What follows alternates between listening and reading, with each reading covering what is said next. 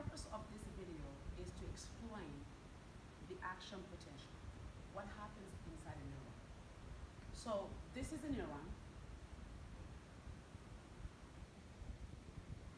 with dendrite, right?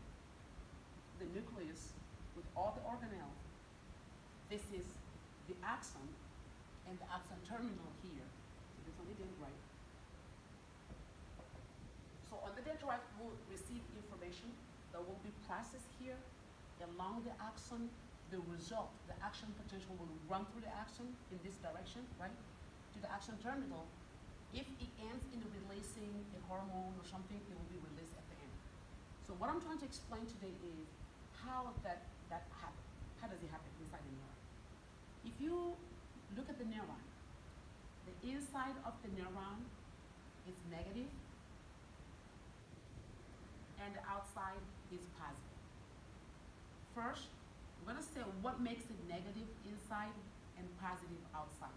Many reasons. One of the reasons are, one of the reasons is the proteins inside the neuron have negative charges around them, so it makes the cell negative. The second thing is the potassium is more permeable, can come out, out of the cell faster than sodium can come in.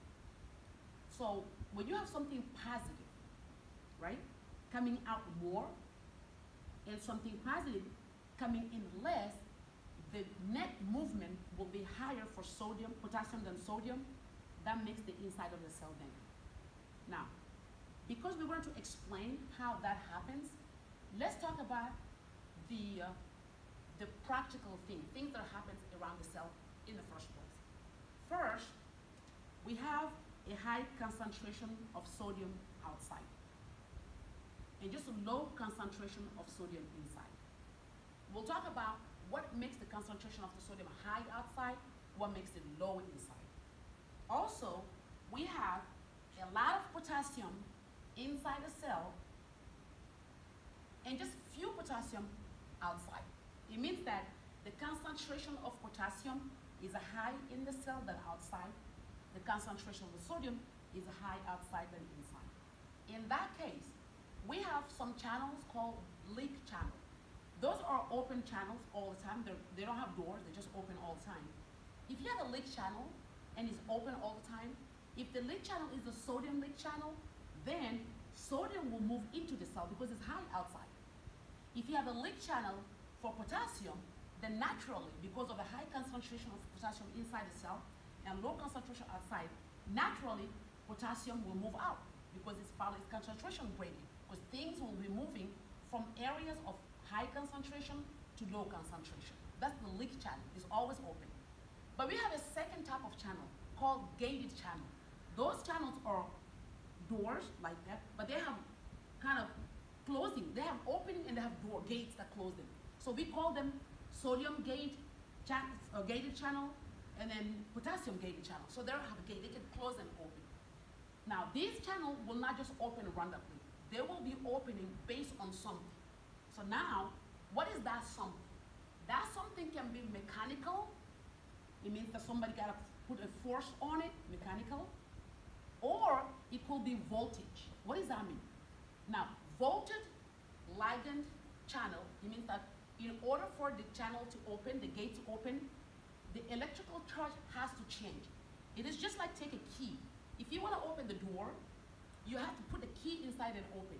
Some keys are electrical. It means that if you make the charge positive or negative, you change it, the door will open. That is called voltage gating. But if it's mechanical gating, it means you actually have to touch it. For example, if you touch your skin, you feel the pressure because somebody's put pressure. It opens the gate too. That makes you feel. The feeling you have is a result of the opening of the gate. Because it's opening under pressure, it's called mechanical gate. Just like when you go to a gate, you can push it with the foot and open it, or you can put a card on it. So the card is just an electrical charge. But if you press it with your hand, it's only what? Mechanical, something mechanical channel. Now these channels will be open on those. Usually, and then we have a second, a third one, it's called chemical. Why? Because you actually have to put some kind of chemical, like acetylcholine, at the door to open the door.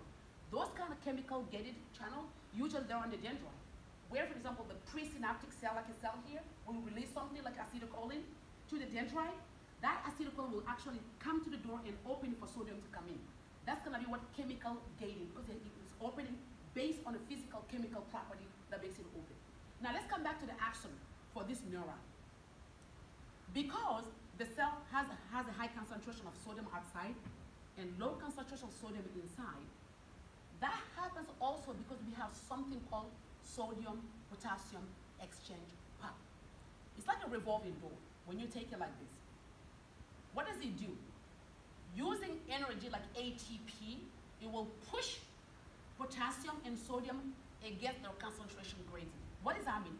It means that this, we have a lot of sodium here, but this pump, right, sodium potassium exchange pump, this pump will actually pump sodium out. Now, if you think about it, if you need to pump sodium out, then you have to have some kind of force, some kind of energy. That energy is used by ATP, pushing the, uh, the sodium potassium exchange pump to take sodium outside against its concentration gradient. At the same time, the machine will pump two potassium in. Here we have three sodium out, right? And two potassium in. Also against its concentration gradient because you have too much potassium inside, too little potassium outside. To push in, you have to push by force. So it doesn't what an active transport. Because on the leak here, the leak channel, they go with their concentration. It's a passive, you don't need energy. But here, it's an active, you need ATP because you're going against the concentration gradient. Now, when we talk about the action potential, we explained something. We said that the action potential will be propagating, running from the axon hillock, from the initial segment, right, to the axon terminal. How does it happen? It is because you have a lot of graded potential, small stimuli that will just open a little door that will add up to become an action potential. During that action potential, the, what happens is you're gonna have a little stimulus that will come to open some sodium channels. Of course, if you open sodium channel, because you have a lot of sodium outside, it will go in, right? So that sodium coming in will change the charges of the inside of the cell, the intracellular um, uh, concentration in negative will change it to positive. So the change from negative to positive is called what? Depolarization. Why? Depolarization. So you got the word deep, right? It means it used to be polarized. What does polarized mean? It used to be negative outside and positive, uh, negative inside and positive outside. So the fact that the sodium coming into the cell makes it positive, it removes the pole. It removes the polarization, make it depolarize it. It will do that, continue moving in until the resting membrane potential that used to be negative 70 millivolt will change to positive, up to positive 30 millivolt. When it gets to positive 30 millivolt, because it's getting closer to the equilibrium potential of sodium, which is plus 66, meaning plus 66, all the gate sodium will close. But it doesn't get there. It will be at 30 and the gate will close. If that gate closed, as soon as that gate closed, the potassium gate will open. Because we have a lot of potassium inside, naturally it will come out, right? So the potassium gate will open so the potassium can come out of the cell. When potassium comes out, this plus 30 will go down again to plus 20, plus 10, 0, negative 10, up to negative 70. At negative 70 millivolt, when we reach the resting membrane potential, the potassium gate will start closing. As it closes, some potassium will still coming out, up to negative 90 millivolt. That negative 90 millivolt the process from from uh, to from going to from um, the process going from negative 70 to negative 90 is called hyperpolarization because it, it, it, it is even more polarized than it used to be at the beginning. So the whole idea is that the resting membrane potential negative 70 went from negative 70 to plus 30 to negative 90. This whole process is called what? An action potential. So the polarization, the repolarization, the depolarization, the repolarization, and the hyperpolarization. So it used to be polarized here because it has negative and positive here. But it was depolarizing, it got to zero, right? At zero, it's kind of neutral. Nothing, positive, negative, got neutral. But you have so much sodium coming into the cell, it continued to be positive up to positive 30. But here, the sodium gate will close, right? And when open? Potassium, open. So when potassium open, of course, potassium will leak out. That will make the cell negative again. That's why it's called repolarization. It comes back to itself again. But even goes down less than negative 70 to hyperpolarize. So this graph shows you the, the um, entrance of the sodium into the cell and the exiting of potassium out of the cell. That process is all called action potential. Let's see if I talk about all the uh, keyword here. We can come here now. So we know sodium in the sodium potassium exchange pump, right? Three sodium will be pumped out, two potassium will be pumped in. This we need energy. At the resting membrane potential, negative 70 millivolt, the cell is down, is at rest. What is the difference between current and resistance? Current is just the movement of ion. And resistance is what is blocking them from going. Like somebody's tapping you at the door, they resist, right? It's called resistance. Now, the equilibrium potential, we talked about this, we said at what charges sodium and potassium do not move, like isotonic solution, right? So if you think of the sodium at plus 66 millivolt, reaches equilibrium. That means it cannot go in and out. It will go at the same level actually, in, in and out.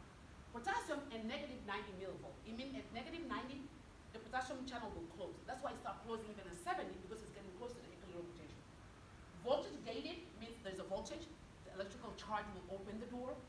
Ligand means something has to touch it to make it open, right? So uh, the leak channels are always open, and so they're passive because they go with the concentration gradient, but the sodium potassium exchange pump is um, is active, right? Is active, and then the axon hillock is where the sodium, uh, where the action potential starts. All right, I think you got it. Thank you very much.